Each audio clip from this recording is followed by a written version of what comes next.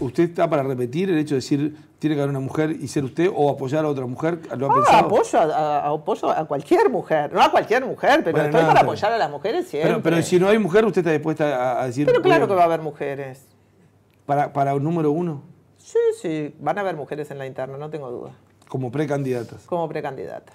No, porque uno lo que escucha es que lo que ve es que fulana ap- apuesta a Y bueno, porque las para encuestas, hacer una las encuestas vuelven a sacar siempre hombre, siempre hombre. Por suerte, en una apareció Verónica Alonso. Ahí digo, bien, Verónica, apareciste en una encuesta. en Las Bueno, encuestas. ahí- ahí- ahí tiene pero un caso. no solamente Ahí tiene un encuestas, caso llaman por teléfono, pero alguien me dijo, llamaron por teléfono y preguntaron por cuatro nombres. ¿Quién le gustaría de candidato a presidente? Entonces, ¿cómo me vas a dar una respuesta cerrada con cuatro hombres? Bueno, Al que la encuesta, yo como en- politóloga, en el caso tengo de ganas de Verónica- matarlo. en el ¿Eso es una encuesta o es una operación política? En el caso de la bueno. senadora Alonso, independiente de cómo le podrá ir, no pidió permiso a nadie, agarró y, y trató de integrar su como y yo tampoco pedí permiso a nadie y creo que Mónica Xavier tampoco le pidió permiso a nadie.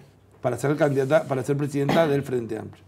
Para ser presidenta del Frente Del Amplio, para ser cabeza de lista, que es lo que compartimos las tres en común. Ser cabeza de lista y no tener que depender de que ningún jefe político te diga en qué lugar de la lista vas a estar. Esas, este, esas son las, las valentías y los corajes de mujeres que luchan contra un sistema gerontocrático y machista, pero bueno, la democracia uruguaya es muy linda, pero si la rascás, adentro hay un dinosaurio durmiendo, ¿no? La Cuando siesta alegremente. cuando hablo con-